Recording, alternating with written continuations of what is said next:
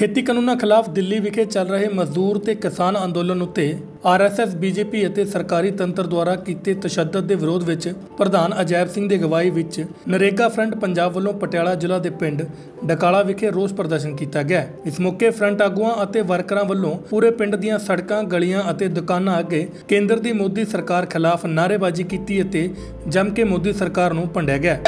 ਅੱਜ ਜਿਹੇ ਡਕਾਲੇ ਦੇ ਵਿੱਚ ਇਕੱਠੇ ਹੋਏ ਆ ਜੀ। ਸਾਡੇ ਪ੍ਰਧਾਨ ਰੇਗਾ ਦੇ ਰੇਸ਼ਮ ਸਿੰਘ ਕਾਲੋਂ, ਜੈਬ ਸਿੰਘ ਮਠੋਈ ਪੰਜਾਬ ਦੇ। ਸਾਡੇ ਨਾਲ ਬਲਵਿੰਦਰ ਸਿੰਘ ਪਟਿਆਲੇ ਤੋਂ ਹੈ ਨਰਿੰਦਰ ਸਿੰਘ।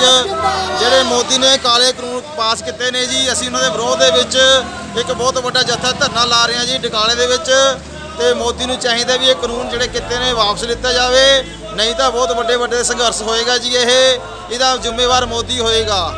ਸੋ ਸਾਰਿਆਂ ਨੂੰ ਬੇਨਤੀ ਹੈ, ਮਜ਼ਦੂਰ ਗਰੀਬਾਂ ਦਾ ਤੇ ਕਿਸਾਨਾਂ ਦਾ ਸਾਥ ਦਿੱਤਾ ਜਾਵੇ, ਜਿਹੜੇ ਮੋਦੀ ਨੇ ਕਾਨੂੰਨ ਬਣਾਏ ਨੇ, ਉਹ ਵਾਪਸ ਲਿੱਤੇ ਜਾਣ।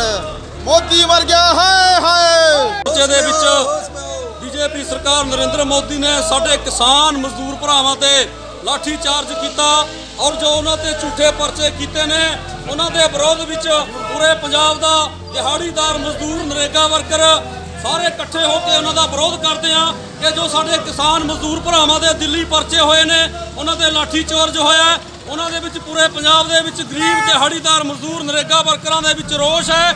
ਅਸੀਂ ਚਾਹੁੰਦੇ ਆ ਜੋ ਸਾਡੇ ਉਹਨਾਂ ਤੇ ਪਰਚੇ ਹੋਏ ਉਹਨਾਂ ਨੂੰ ਰੱਦ ਕੀਤਾ ਜਾਵੇ ਔਰ ਕਿਸਾਨ ਮਜ਼ਦੂਰ ਏਕਤੇ ਨੂੰ ਜੋ ਉਹਨਾਂ ਦਾ ਇੱਕ ਹੈ, ਉਹ ਅੱਗੇ ਤੋਂ ਅੱਗੇ ਵੱਧ ਕੇ ਅਸੀਂ ਜੋ ਮੋਰਚਾ ਦਿੱਲੀ ਵਿੱਚ ਕਿਸਾਨ ਮਜ਼ਦੂਰ ਏਕਤਾ ਲੱਗਿਆ ਹੋਇਆ ਉਹ ਅਸੀਂ ਫਤਿਹ ਕਰਨਾ, ਅਸੀਂ ਪੂਰੇ ਦੇਸ਼ ਦੇ ਵਿੱਚ ਨਰਿੰਦਰ ਮੋਦੀ ਸੈਂਟਰ ਦੀ ਸਰਕਾਰ ਨੂੰ ਨੰਗਾ ਕਰਾਂਗੇ ਖਬਰਾਂ ਵਿੱਚ ਬਣੇ ਰਹਿਣ ਲਈ ਤੁਸੀਂ ਸਾਡੇ YouTube ਚੈਨਲ ਤੇ ਸੱਚ ਕਹੂੰ ਪੰਜਾਬੀ ਲਿਖ ਕੇ ਸਬਸਕ੍ਰਾਈਬ ਕਰੋ ਅਗਰ ਤੁਹਾਨੂੰ ਸਾਡੀਆਂ ਖਬਰਾਂ ਚੰਗੀਆਂ ਲੱਗਦੀਆਂ ਤਾਂ ਇਸ ਨੂੰ ਲਾਈਕ ਸ਼ੇਅਰ ਅਤੇ ਕਮੈਂਟ ਕਰੋ ਇਸ ਦੇ ਨਾਲ ਹੀ ਤੁਸੀਂ ਅਖਬਾਰ ਪੜ੍ਹਨ ਦੇ ਸ਼ੌਕੀਨ ਹੋ ਤਾਂ ਤੁਸੀਂ ਸਾਡੇ ਕੌਮਾਂਤਰੀ ਅਖਬਾਰ ਸੱਚ ਕਹੂੰ ਪੰਜਾਬੀ ਅਤੇ ਸੱਚ ਕਹੂੰ ਹਿੰਦੀ ਪੜ੍ਹ ਸਕਦੇ ਹੋ देश विदेश की तमाम खबरों से जुड़े रहने के लिए सब्सक्राइब करें सच कहूँ और बेल आइकन प्रेस करके पाएं हर लेटेस्ट अपडेट सबसे पहले